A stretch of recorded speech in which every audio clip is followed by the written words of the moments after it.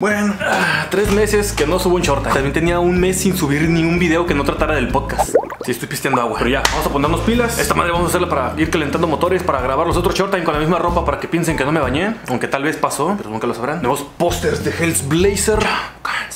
Y bueno, empecemos este improvisado simplemente para ver qué sale. ¿Cómo se decía esto?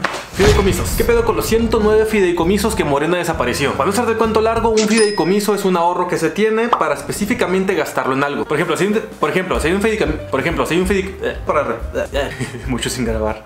por ejemplo, si hay un fideicomiso para deportes, significa que ese ahorro se va a gastar solamente para deportes. No importa lo que pase en el país, es solo para deportes y ya, se chingó. La gran ventaja de estos fideicomisos era que permitían que ese ahorro se gastara específicamente para lo que era, eran vigilados muy cabrón y aparte no dependían del gobierno entrante. O sea que no importa cuántas veces cambiemos de partido en el poder, ningún presidente iba a poder llegar a echarle mano y gastárselo en otras estupideces. Hasta que AMLO llegó y le ordenó a sus lamebolas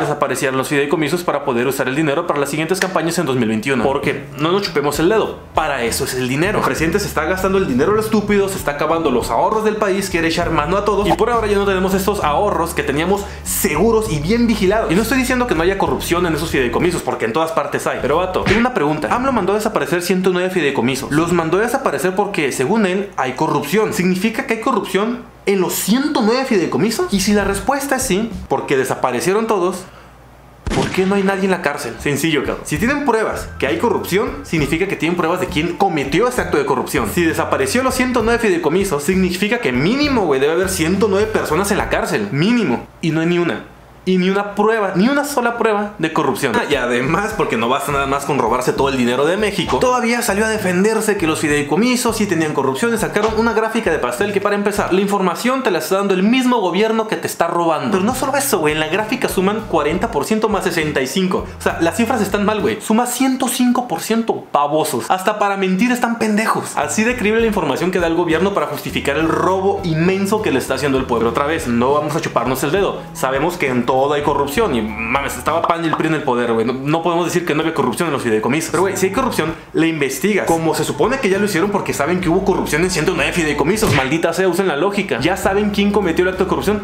Enciérrenlo. Si no saben quién, investiguen y enciérrenlo. No le vas a cortar la pierna a un paciente porque trae la uña enterrada, cabrón. sacas la pinche uña. Sáquenle la uña a los fideicomisos. Pero no, AMLO los quiso desaparecer. Y obviamente este dinero no se esfumó. Ese dinero sigue ahí. Pero ahora está bajo el control del presidente. ¿Y saben qué vamos a tener dentro de 8 meses que va a ocupar mucho dinero? Elecciones. Y como Coahuila e Hidalgo demostraron, la gente ya está harta de Morena en tan poquito tiempo. Así que pasemos con el siguiente punto. ¿Qué es eso precisamente? No en todos los estados del país hay elecciones al mismo tiempo. Algunos hacen sus propias elecciones tiempo después, como fue el caso de Coahuila e Hidalgo, en donde el PRI arrasó, cabrón. En Hidalgo el PRI ganó 32 municipios, güey. 32. Y en Coahuila, de 16 distritos que se estaban disputando, el PRI ganó 16, güey. Ganó todo. Lo impresionante en sí no es tanto que la gente haya vuelto a votar por el PRI, porque la gente es pendeja y había hemos visto que el PRI podía volver al poder. Lo impresionante es que nadie, nadie de Morena ganó. Nadie. ¿Esto qué significa, güey? que si López Obrador en la boleta no votan por Morena. La gente votaba por Morena para castigar al PRIAN, pero por ver el cagadero que está haciendo Morena en cualquier parte donde está gobernando y por no ver a AMLO en la boleta junto a los candidatos, a chingar a su madre. Tanto así que ganó el privato.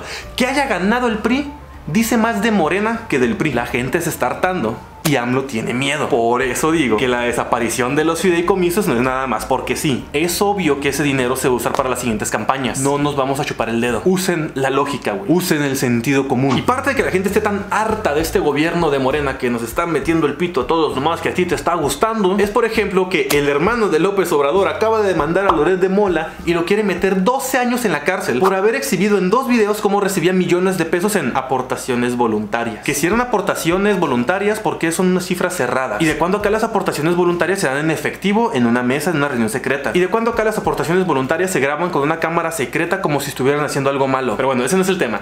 El tema es que Loret de Mola exhibió en dos videos bien chingones como el hermano de López Obrador estaba recibiendo dinero para las campañas de AMLO. Sí, güey, ya se demostró que AMLO es corrupto. Supéralo. Pues ahora resulta que ser corrupto no es un delito, es un delito denunciarlo, güey. Ante esto, obviamente López Obrador pues dijo, no, no, él nomás a mí me afecta y yo no voy a defender a mi hermano, pero güey, tiene puro corrupto en su gabinete y lo está defendiendo y defiende que no vaya a defender a su hermano. Porque para empezar a su hermano no le hicieron nada, güey. Nada. Pues ahora saltaron de ofender a los periodistas y de atacarlos a quererlos en la cárcel. Y todavía te preguntas, ¿por qué el PRI ganó Hidalgo y Coahuila? Ah, tercer mundo. Así que en conclusión, Morena traicionó al pueblo y desapareció los ahorros para que AMLO los pueda usar para ganar las elecciones en 2021 porque están perdiendo las elecciones por andar atacando periodistas, andar haciendo la fuga de inversiones, por tantos muertos por el coronavirus, por tantos muertos por la delincuencia y porque están haciendo un cagadero con el país. Y como ya no tienen para ganar la boleta porque AMLO no puede aparecer en la boleta, van a hacer que todos esos fideicomisos, todo el dinero que había en esos ahorros, en esos fideicomisos, se vaya a las elecciones para que Morena gane otra vez.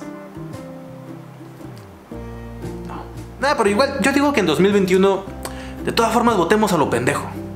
¿Qué es lo peor que puede pasar?